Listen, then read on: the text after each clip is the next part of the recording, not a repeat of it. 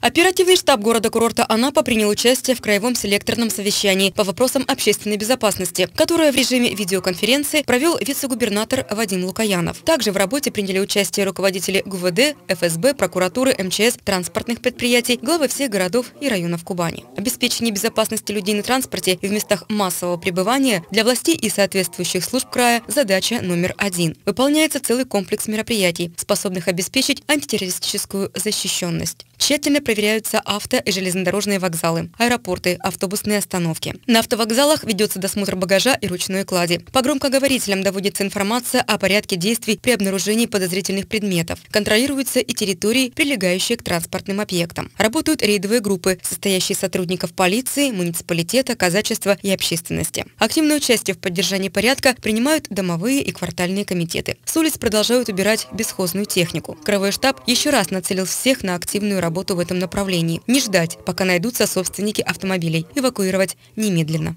Мы же не должны очень ждать, когда э, нашей расторопностью, в кавычках, э, воспользуются э, неблагоприятные граждане совершенно другими целями.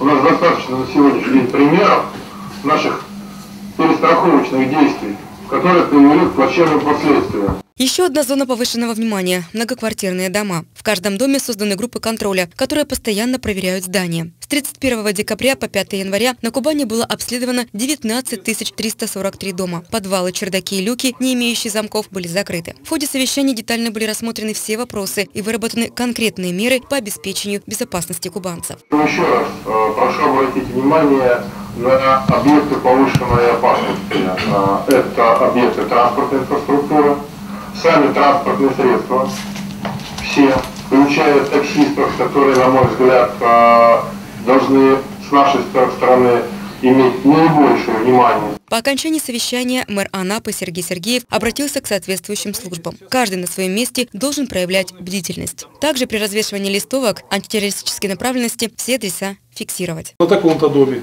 там трехподъездный, э, э, размещены листовки такого-то содержания, ну, образец прилагается – тогда-то, тогда-то. И периодически проверяйте, чтобы их не срывали. Поручение руководителям транспортной инфраструктуры. Водители должны быть более внимательными на маршруте, а также на остановках и не выходить на линию, не вымыв транспорт. Мойте транспортные средства.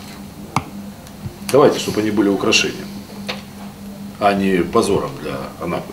Дождя не было две недели, а я вижу в городе грязные маршрутки.